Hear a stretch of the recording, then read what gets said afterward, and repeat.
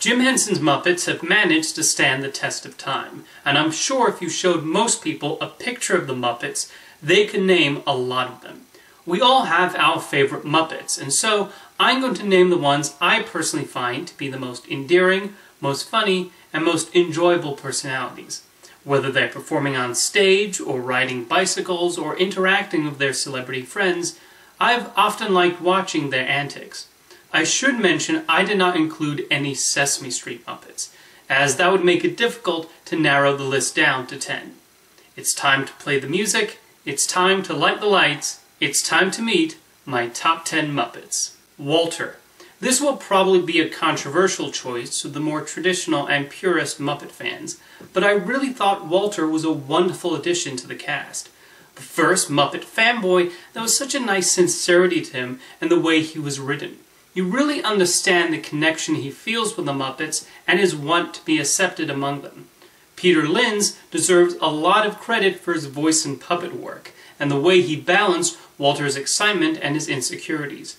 His story arc, as explored in the 2011 Muppets movie, was nicely told, and his big standout moment on stage was especially sweet.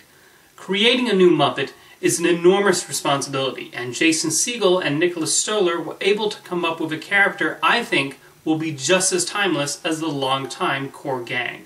Rowlf. It's been often mentioned by those who knew him that Rowlf is the Muppet closest to Jim Henson's actual personality, and I can see that.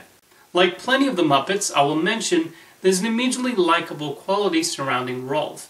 There's a refreshing calmness in how he reacts to the wild antics of his friends and he can sometimes be there to offer some helpful advice. His occasional one-liners would offer a laugh, and his enthusiasm for playing the piano also came through.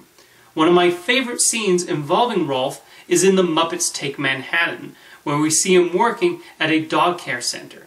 Just seeing his connection with his fellow canines is touching, but also funny in how he deals with a snooty dog owner. I also love the scene in the Muppet movie where he talks with Kermit at that lodge restaurant. It seems like whenever the other Muppets need a pick-me-up, Rowlf is one of the first to give them a helping hand.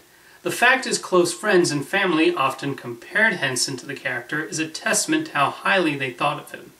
Animal. The drummer for Dr. Teeth and the Electric Mayhem, he is definitely among the most wild and unhinged of the Muppets. It's not unusual for Animal to lose his mind and cause some amount of destruction, and it's almost always hilarious. Yet Frank Oz and the writers were able to develop Animal beyond outbursts, and the shows and movies would peel away and peek into his personality and what drives him.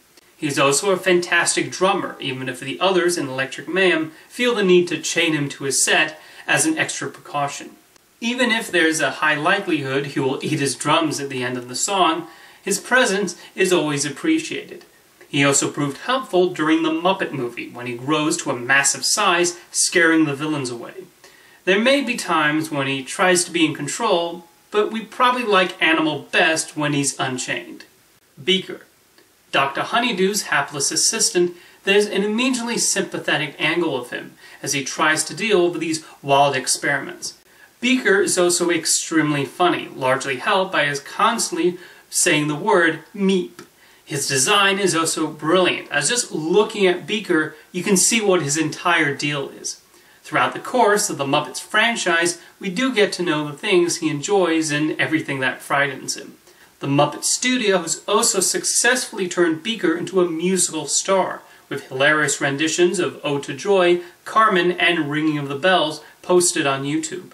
Just watching those produces a decent amount of laughs. If the intention was to make us feel sorry for Beaker, the Muppet crew definitely succeeded, as a lot of the time I just feel sorry for everything he has to put up with. Hey Beaker, if you happen to be watching this video, you are amazing, and I think it's about time you asked Dr. Honeydew for a raise, and a vacation, and to pay for your health insurance. Swedish Chef. Famous for his mock Swedish, He's probably among the most inventive Muppets, as he's a combination of puppet with real hands. That would allow for creative sketches, where the chef would attempt to create a feast for the other Muppets, which requires an incredible amount of coordination on the puppeteer's parts. His love and enthusiasm for cooking is just one of the reasons he is so endearing, even if the finished meal ends up being rather different than he originally envisioned. The chef's appearances often featured a lot of energy as things begin to go horribly wrong in the kitchen. Saying gibberish words seems like such a simple form of comedy, but it still requires the necessary delivery and timing, and Jim Henson and later Bill Barretta nailed it with the Swedish chef. Statler and Waldorf. There's a tricky line in being critical without crossing over into mean. However, these two curmudgeons able to pull it off in a way that gets everyone laughing. Part of the joke comes from the fact that even though they don't find the Muppets funny, they somehow end up sitting at their favorite balcony for every show. They actually end up making fun of themselves just as much as when they heckle the Muppets, and are also self-aware that they hate everything about the show. Their long-time interactions make them a classic comedic duo as they play off each other extraordinarily well. Their barbs are able to be hilarious because it mostly comes from a strange curiosity for what sort of performance the Muppets are putting on, even if they dread the experience. The Muppets can be corny and their shows can get out of hand, so it's inevitable there will be a few who find the acts bordering on annoying. Thankfully, Statler and Waldorf know the right way to respond to this, and the Muppet Show would not be the same without these two in the balcony seats. Miss Piggy.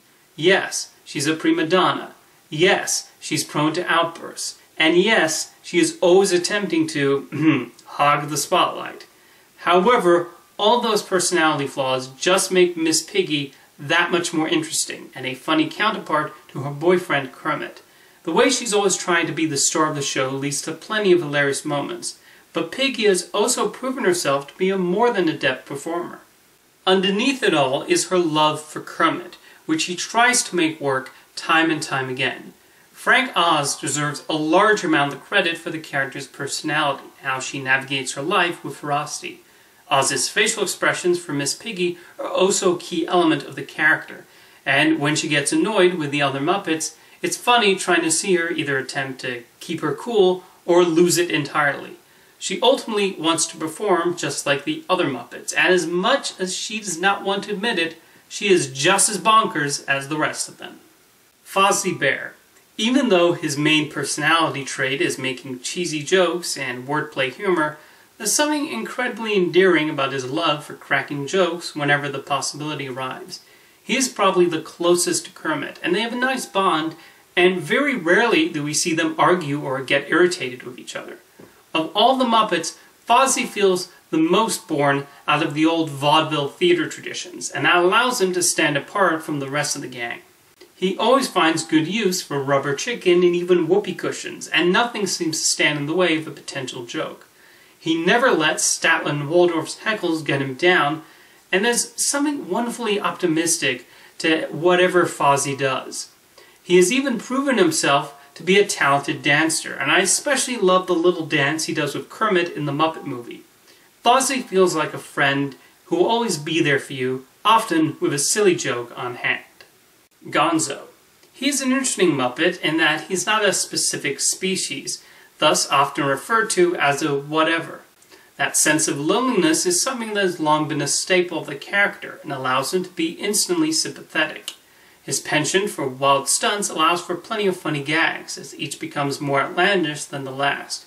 He also has a sweet relationship with a chicken named Camilla, one that's portrayed as healthy and with plenty of love between them. Gonzo has taken on other personas through his career too. He played Charles Dickens in Muppet Christmas Carol, serving as the narrator of the story and providing plenty of fourth wall jokes. Then there was Muppets from Space, which revealed Gonzo was an alien, although this seems to have been hand-waved in his later appearances. Something I find amazing about Gonzo is his puppeteer, Dave Goelz, who has portrayed the character since his introduction in 1976. So I want to give a round of applause to Mr. Goelz. Thank you for making Gonzo such a warm and likable personality. And finally, my favorite Muppet is... Come on. You've probably figured it out by now. Kermit the Frog. Is an obvious choice? Sure, but Kermit embodies so much of what made Jim Henson such a talented artist and puppeteer. He's a character that's able to be warm-hearted, but would also sometimes get irritated at these wacky personalities he has to manage. His outbursts were frequently hilarious, but he could also tap into our emotions whenever he performed the Rainbow Connection. It's hard not to smile upon seeing Kermit on screen, and Henson definitely played a major role. He always knew the right note with which to play that little frog, and always came up with the perfect facial expressions.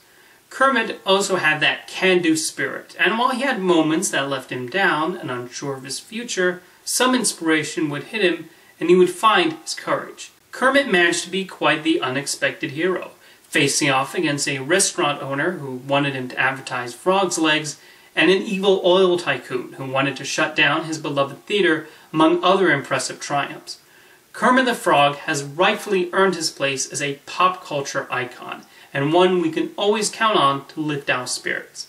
Now tell me, who are your favorite Muppets? Maybe Sam the Eagle, Scooter, Rizzo, Clifford, and Pepe the Prawn are among your favorites. I'm certainly very fond of them, even if they did not make the list. Let me know your favorites, and I'll see you next time.